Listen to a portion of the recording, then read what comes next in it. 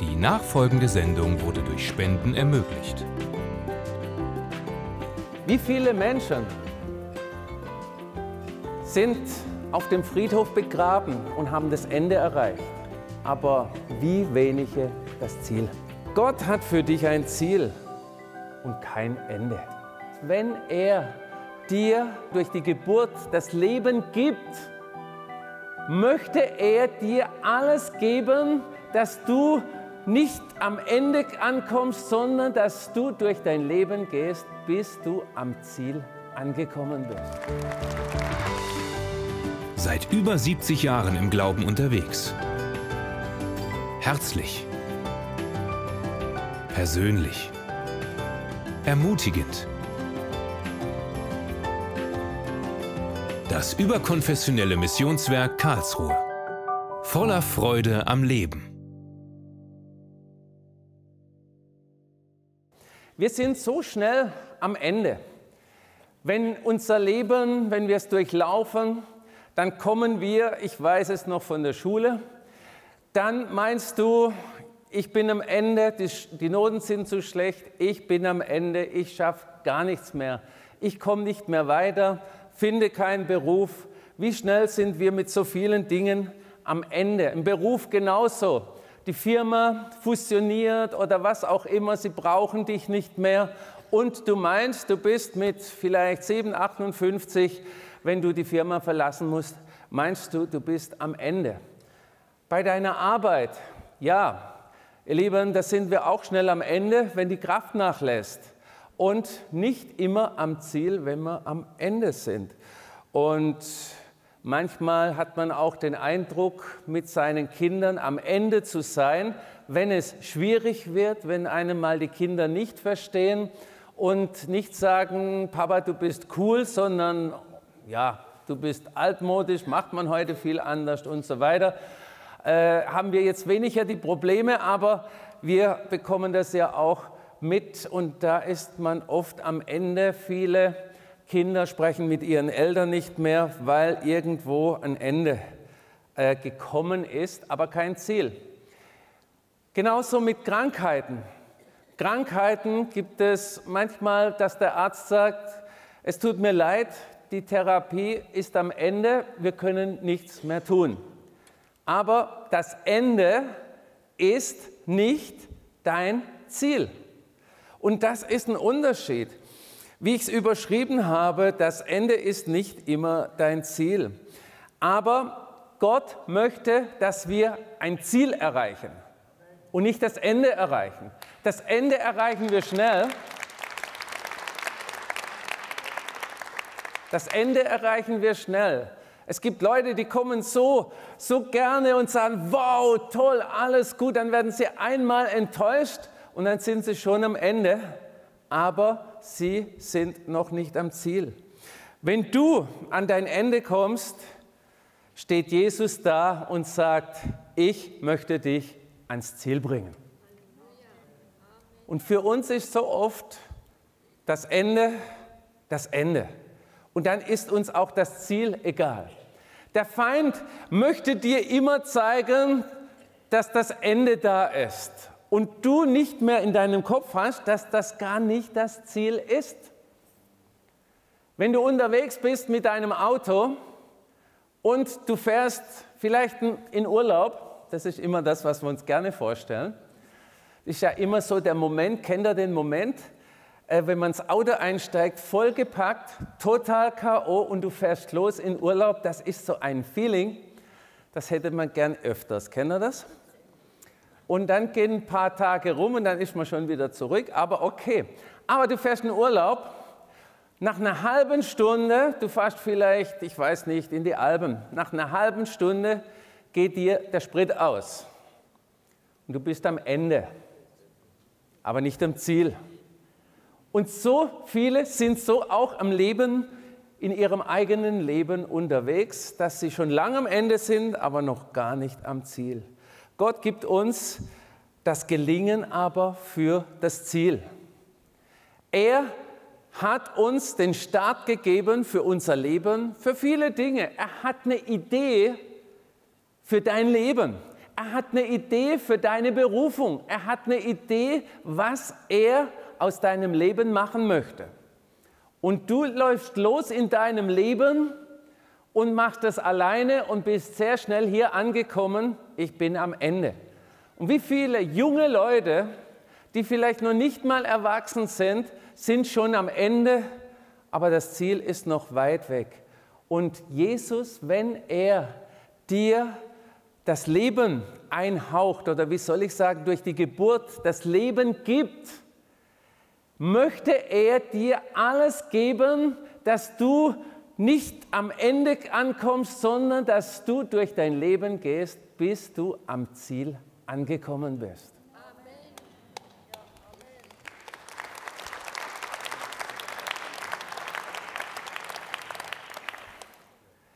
Gott sieht in dir nicht deinen Moment, deine Momentaufnahme, das, was du gerade brauchst. Oh ja, der hat Durst. Oh ja, der braucht einen Job. Oh ja, der. Nein, Gott sieht dein Ganzes. Und unser momentanes vielleicht Ende oder Herausforderung ist ein ganz kleines Stück in ganz, im ganzen Plan Gottes, vom Start bis zum Ziel.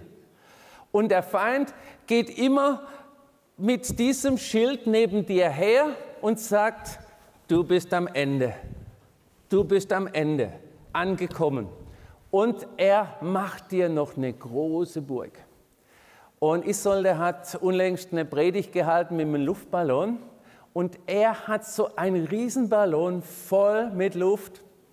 Wisst ihr, was da drin ist? Wenn man drauf piekst, macht es einen Knall und ist nichts da. Und so tut er uns oftmals so Realitäten vortäuschen, da geht es nicht mehr weiter, da gibt es keine Lösung mehr, da gibt es keine Heilung mehr. Und er läuft dauernd neben dir her mit diesem Schild und sagt dir, hier ist dein Ende. Du wirst nie das Ziel erreichen, hier ist dein Ende. Ich sage dir, mit Jesus kommst du auch ans Ziel.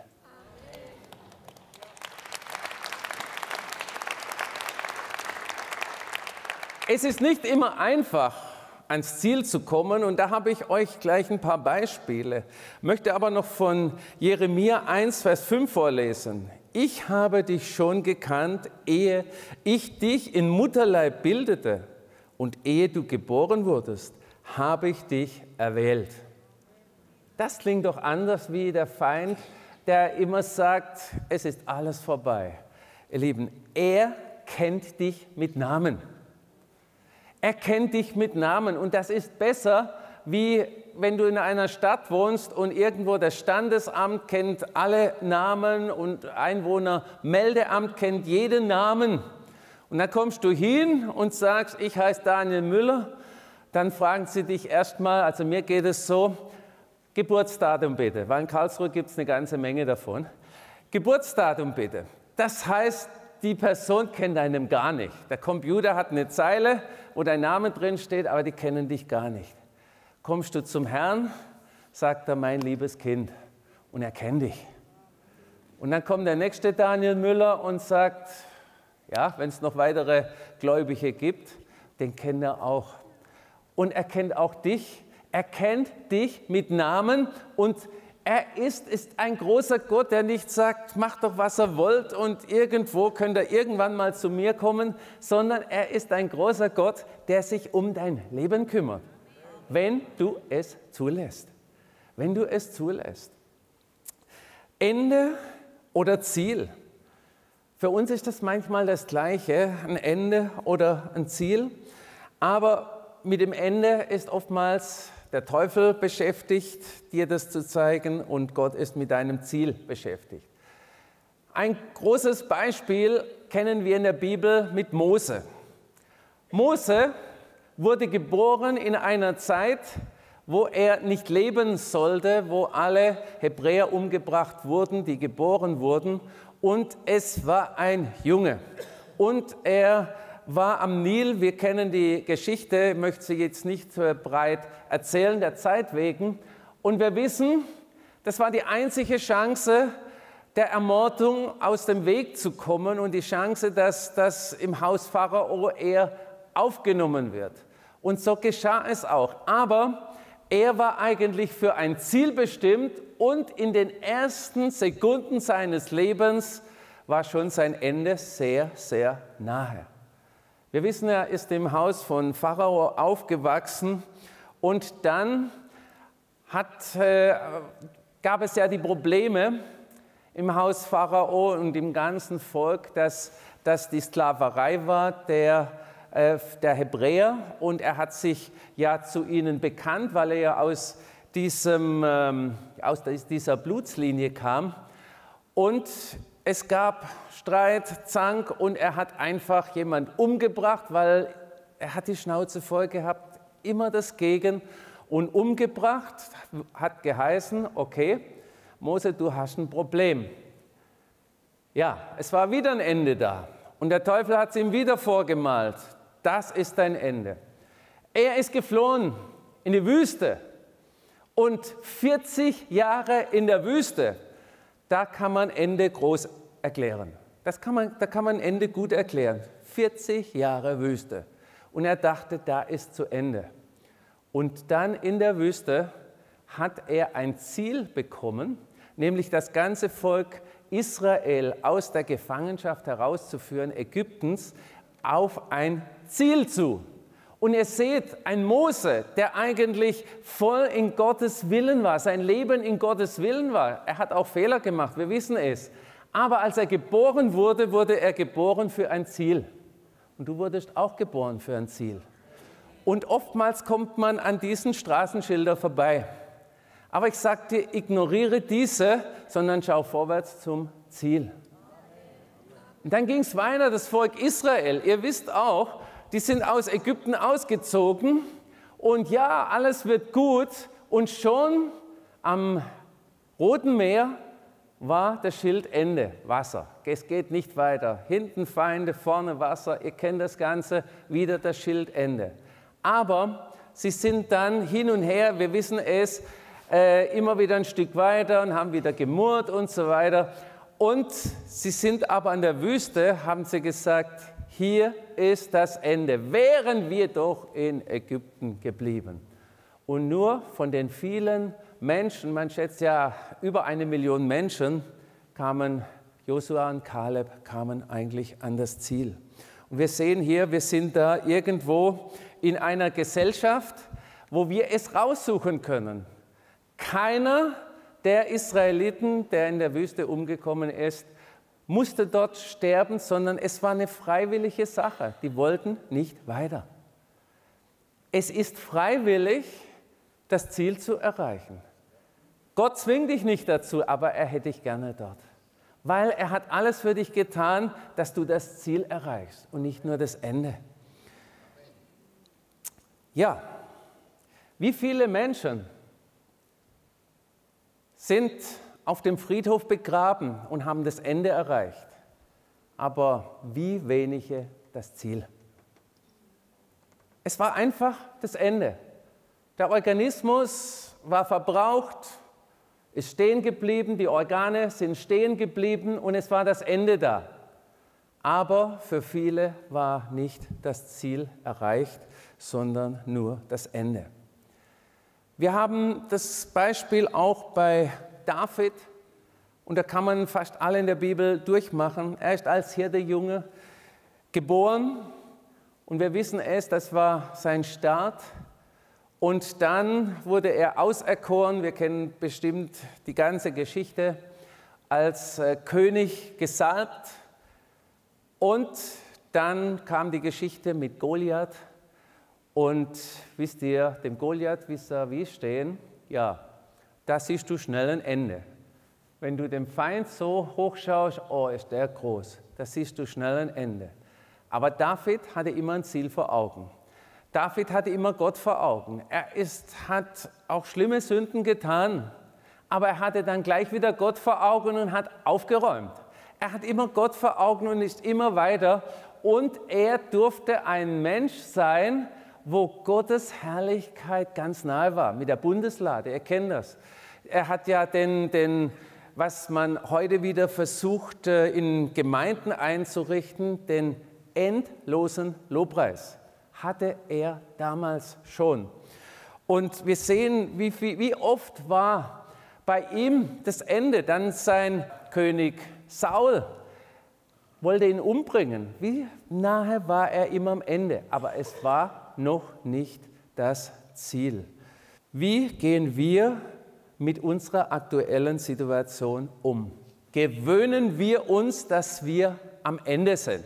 Und viele Christen gewöhnen sich an das Ende. Es ist jetzt halt so, dann ist es halt so und dann äh, geht es mit dem nicht und jenes nicht und meine Krankheit, es ist halt so. Und du pflegst vielleicht noch deinen Zustand, wo du gerade bist und du versumpft in deinem Zustand und ich habe gedacht, Gott will was Großes aus mir machen und jetzt bin ich da am Ende angelangt. Ich sage dir, sei an diesem Punkt bereit für Veränderung. Und sage nicht, ich bin bereit für Veränderung, aber hoffentlich tut sich nichts, weil manchmal und sehr oft ist Veränderung mit Arbeit verbunden. Wer arbeitet denn gerne? Ist mit Arbeit verbunden. Und heutzutage, wir leben in einem Zeitalter, wo alles so automatisch geht. Und immer weniger Menschen möchten gerne arbeiten aber gerne mehr Geld verdienen und weniger arbeiten. Das ist ja heute so auch das Thema. Aber ich sage dir, sei bereit für Veränderung. Wir lesen in Philippa 3, Vers 12. Da heißt es, unterwegs zum Ziel ist es überschrieben. Dabei ist es mir klar, dass ich dies alles noch lange nicht erreicht habe dass ich noch nicht am Ziel bin, doch ich setze alles daran, das Ziel zu erreichen, damit der Siegespreis einmal mir gehört, wie ich jetzt schon zu Christus gehöre. Es gibt einen Siegespreis. Möchtest du diesen erreichen? Den gibt es nicht hier. Oh Herr, du hast mir doch versprochen. Und oh Herr, äh, der Herr sagt, geh weiter. Ich bringe dich ans Ziel. Und wenn wir sehen, der Herr Jesus selber, er ist im Stall geboren. Dieser Start, und wisst ihr, im Stall geboren und in dem Moment wollte man ihn schon umbringen und da wäre es das Ende gewesen. Er hat genau dasselbe mitgemacht. Das Ende. Und ähnlich wie bei Mose. Und dann, nach vielen Jahren, kam er zur Taufe an den Jordan. Und es war Herrlichkeit und die Taube kam als Symbol des Heiligen Geistes und man hörte die Stimme, dies ist mein lieber Sohn, an dem ich wohlgefallen habe. Das ist doch die Vollendung. Aber es war nicht das Ziel. Und dann heißt es in der Bibel sofort weiter, ohne groß noch Erklärung, und der Geist Gottes führte ihn in die Wüste. 40 Tage Wüste, in der Wüste kam dann der Teufel, hat ihn versucht. Mach doch die Steine zu Brot, wenn du, wenn du Gott bist. Kannst du sowas? Das, das ist die Herausforderung gewesen. In der Wüste ist das wirklich, ist das wirklich das Ende. Und wir wissen es, unser Jesus hat es vorgemacht, dass er widerstanden hat. Der Platz von Ende ist ein Platz, wo wir zu widerstehen haben. Feind, du bist besiegt. Feind, das kann nicht sein. Herr Jesus, ich danke dir dafür. Du hast den Feind besiegt. Durch dein Blut bin ich mit diesem Sieg eins und bin in diesem Sieg auch beteiligt. Und ihr Lieben, und dann kam wieder. Jesus hat gewandelt, hat Wunder getan und sein Bodenpersonal, die Pharisäer, die Gottes Wort verkündet haben, wollten ihn umbringen. Und schon wieder war Jesus an dem Punkt, wo er sich entscheiden musste, ist es wirklich zu Ende oder habe ich nicht ein Ziel? Und Jesus hatte immer das Ziel vor Augen. Aber sein Ziel war nicht, ich werde geboren und meine Mama, die Maria, trägt mich ans Ziel. Und ich sage, ja, ja, ich habe es geschafft. Das ist das, was wir gerne hätten. Aber was dazwischen liegt, da haben wir alle eine Geschichte Und viele sind an diesem Platz angekommen und ich sage dir, bleib nicht an diesem Platz. Wir wissen, Jesus ging dann im Garten Gethsemane und er war wieder an dem Punkt und dann sagt er, mein Vater, mein Gott, äh, wenn es möglich ist, lass diesen Kelch an mir vorübergehen. Da hat er, der Feind, so die ganze Last lag auf ihm und der Feind wollte ihm groß machen, was alles jetzt nicht mehr funktioniert. Und er hat durchgehalten und er hat für uns gesiegt. Und weil er gesiegt hat, kommen wir auch ans Ziel, wenn wir wollen.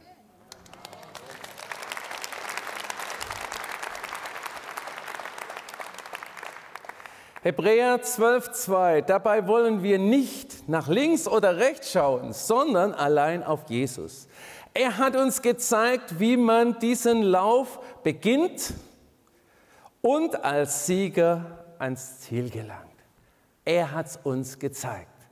Und ihr Lieben, wenn wir sehen, was Jesus durchgemacht hat auf der Erde, da haben wir es noch leicht. Wurdest du schon mal angespuckt? Wurdest du schon mal ausgepeitscht?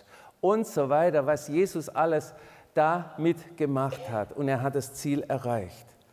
Und wisst ihr, was Ziel bedeutet? Ein Ziel ist ein in der Zukunft erstrebenswerter Zustand zu einem Zweck und es braucht eine Ausdauer und ein Aufwand an Arbeit. Also ein Ziel zu erreichen ist was Erstrebenswertes, wo wir erreichen können. Das Ende zu erreichen ist nicht erstrebenswert. Und ihr Lieben, für einen Zweck. Und wir wissen für uns Menschen, das Ziel zu erreichen im Glaubensweg ist mit Jesus ewig leben. Das ist das Ziel und das ist was Wunderbares. Und wenn wir sehen, ihr Lieben, das Ende ist ein Punkt, wo alles aufhört. Das Ziel ist ein Punkt, wo alles anfängt. Und das ist die Frage, möchtest du am Ende sein oder am Ziel? Viele sind am Ende angelangt. Und ich möchte dich heute aufrufen, Geh wieder los und geh wieder in Richtung Ziel. Siehst du nur deine Situation oder blickst du auf das Ziel? Bist du mit dem Ziel beschäftigt oder nur mit deinen Problemen? Der Feind möchte dir nur dieses Schild vor Augen halten. Ende, Ende, Ende. Und ich sage dir, schau weiter und sag, nee, Ende heißt nicht, dass ich das Ziel erreicht habe. Wächst du in deine Berufung hinein oder lebst du in einen Tag hinein und sagst, ach bin ich froh, wenn das hier auf der Erde einmal rum ist. Das Ende ist nicht immer das Ziel, wie ich schon sagte. Burnout ist ein Ende, aber es ist kein Ziel. Gott hat für dich ein Ziel und kein Ende. Denn er ist grenzenlos, er ist endlos, er ist ewig. Der Teufel sagt, es ist zu Ende. Jesus sagt, die Sünde ist zu Ende. Und Jesus sagt, mein Ziel für dich ist endloses Leben. Gott hat in dich ein Ziel hineingelegt und nicht ein Ende. Ein Ziel und nicht ein Ende. Gottes Ziel für dich heißt ewiges Leben. Möchtest du dieses Ziel erreichen? Gib Gott die Ehre. Danke, Herr.